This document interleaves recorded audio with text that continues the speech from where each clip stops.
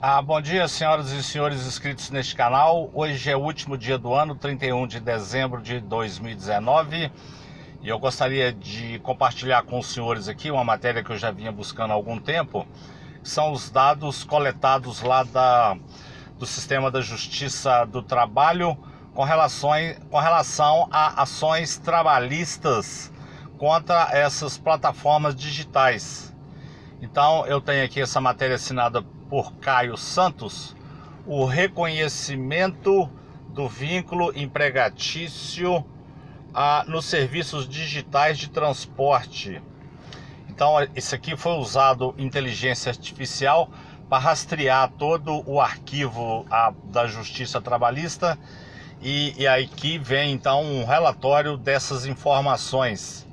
após decisão da oitava vara do trabalho de São Paulo, que eu fiz um vídeo aqui recentemente, foi determinado que o aplicativo de entregas rápidas Log terá de reconhecer o vínculo trabalhista com motoboys que utilizam a plataforma. Ah, buscamos dados das empresas Uber, 99, iFood, Rap, Cabify e Log entre os anos de 2014 e 2019. A Uber é a empresa que mais gerou ações trabalhistas. Em contrapartida, a Rappi foi a plataforma com menor número de ações. Então veja bem, esses números aqui estão muito pequenos. Eu tenho dado suporte a motoristas excluídos da plataforma que queiram a, discutir a, o vínculo empregatício, tá? A, a, a fazer solicitação aí de danos morais, a depreciação veicular, seja do, do carro, seja da, eh, de moto, tá? É, qualquer problema que você tenha tido na, na plataforma, a desavença, a, a troca de, de, de, soco, pontapé, tiroteio, quer dizer, tudo isso tem que ser levado aos, às barras dos tribunais, tá, tá certo? Para a gente questionar esses aplicativos ah, irresponsáveis tá? Então os números aqui são pequenos e eu espero contribuir para que esses números, números aumentem significativamente. O meu telefone, ah, o telefone de contato do Zap vai estar sempre aí no rodapé do vídeo, tá? E eu estou aqui à disposição para poder dar a minha contribuição para essas pessoas aí que, que, que eventualmente queiram a, a levar essas empresas a, a, nas barras dos tribunais.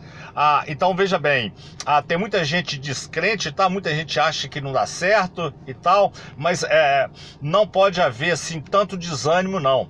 Ah, eu acredito que esses números aqui, evidentemente, vão aumentar com o passar do tempo, na medida em que essas plataformas forem aí excluindo aí uma multidão de motoristas, né?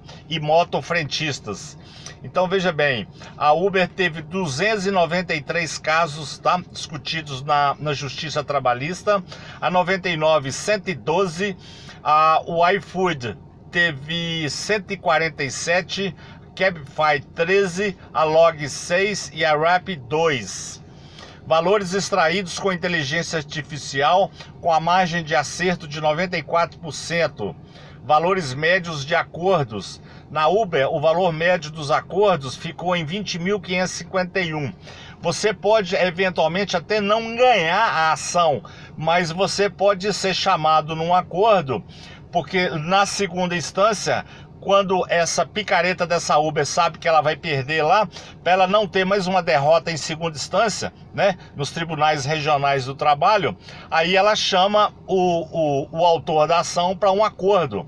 Então muita gente já levou algum dinheiro.